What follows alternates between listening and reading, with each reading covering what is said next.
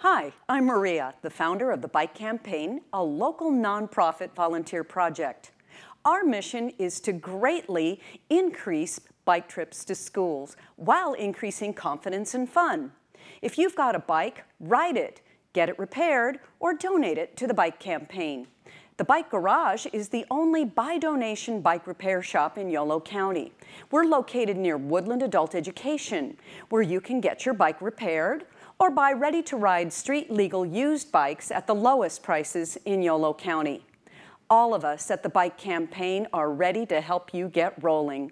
Whether you're just bike curious, want to learn how to ride, or ready to start living a car-free lifestyle, we can help. Check out our website at www.thebikecampaign.com or call me at 530 753 1125.